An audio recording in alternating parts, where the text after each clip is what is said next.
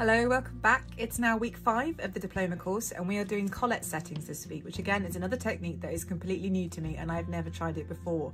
There are several different ways or several different techniques to do a collet setting, but the one that we've been taught involves some geometry and maths. Now, neither of these subjects are a strong point of mine, so this one could get interesting.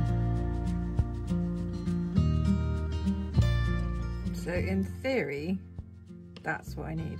Okay, so I have done my geometry to work out the amount of silver I need for the collet setting, which is this little shady bit here. I still don't understand it and I'm not 100% sure I've done it right, but I do have some spare silver, so I'm gonna go ahead, cut this out and then shape it and just see if it is right or not, I guess. Okay, confidence level is low, but I do have plenty more silver so I can get at least another three or four settings out of this if it isn't quite right.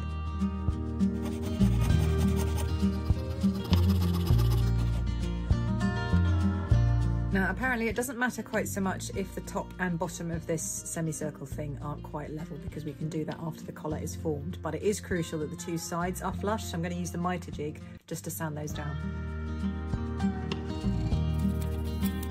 Ends of this are now nice and flush, I hope.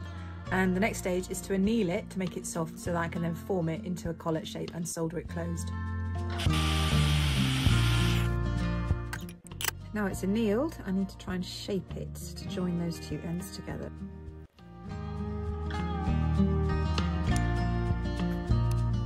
How are we supposed to get that flush? This is really difficult. I'm genuinely not sure how I've managed to get these to meet. I think they're flush. I think the join is touching. Um, it's a bit mangled. It's giving me flashbacks to the gold project. I tried to get that ring made. I'm going to go ahead and solder it and then I can use the collet block to try and shape it and hopefully that'll give me some kind of indication as to if it's going to work or not. Looks like a nice neat solder join but at this point I'm starting to feel this project really could go either way. Now I'm going to use the collet block to try and shape this mangled piece of silver into the collet setting.